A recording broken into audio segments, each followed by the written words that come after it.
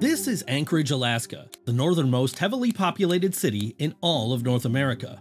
And when it comes to the massively sized state of Alaska, Anchorage is as big, bright, and bustling a metropolitan as you will ever find. From the five story luxury shopping center on West Fifth Avenue to modern museums, cultural exhibitions, landmark institutions, and fine dining. Alongside popular staples like Starbucks, McDonald's, and Raising Cane's, and even a couple Target and Costco locations. Anchorage feels like a legitimate big city, even with it being located off the Alaskan Alpine slopes, north of other far north cities like Stockholm, St. Petersburg, and Helsinki. But with less than 300,000 residents, Anchorage is only a big city for the sparsely populated state of Alaska. And if Anchorage were located in the lower 48, it would be something like the 10th biggest Texas city or a mid tier Ohio metropolitan meaning that in terms of population, Anchorage sits somewhere between the bright lights of Albuquerque, New Mexico, and the subtle cityscape of Santa Fe. Despite Anchorage making up 60% of Alaska's economy and more than 40% of its residential population. So you can only imagine just how empty the rest of Alaska really is. With Fairbanks, Alaska's second biggest city and the primary supply station for its booming oil industry, having just 32,000 residents and its capital city of Juneau having less than 32,000 residents. But don't let Alaska's little big cities fool you. Anchorage lies at the heart of Alaska's costly highway system, with America's second busiest and the world's fourth busiest airport critical to domestic cargo transportation and crucial to international travel. But really, all of these Alaskan cities are far more important than similarly sized cities in the lower 48.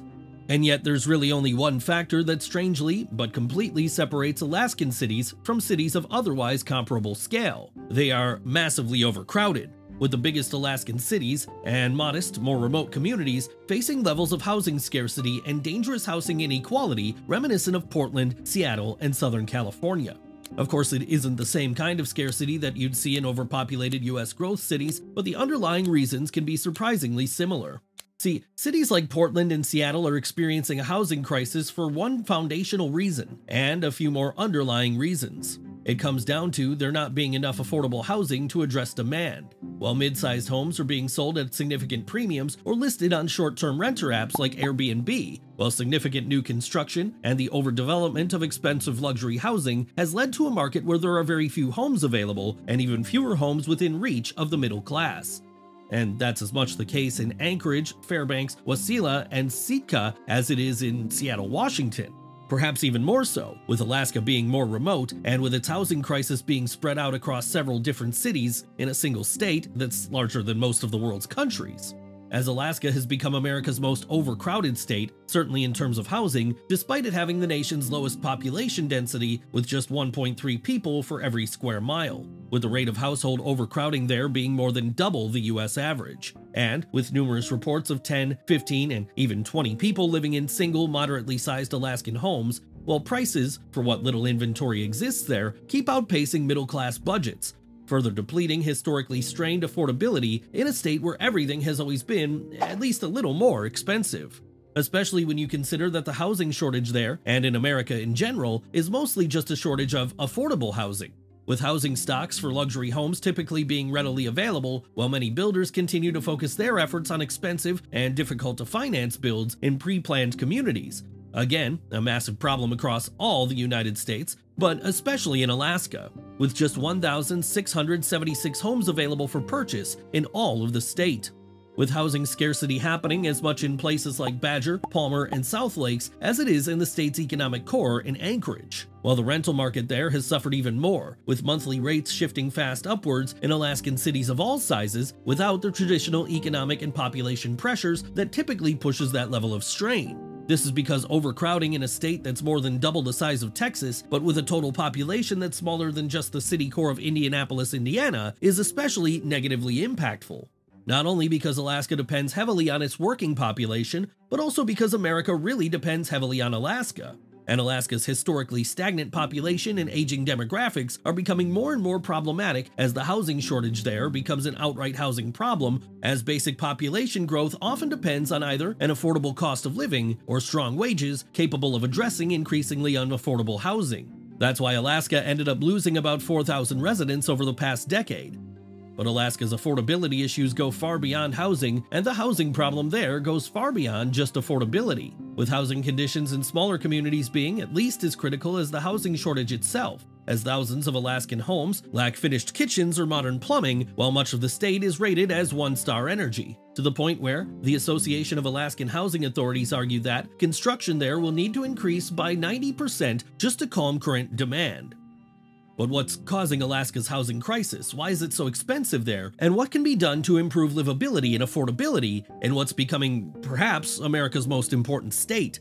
And yes, I said living costs, not just housing costs, because almost everything is getting even more expensive in the last frontier.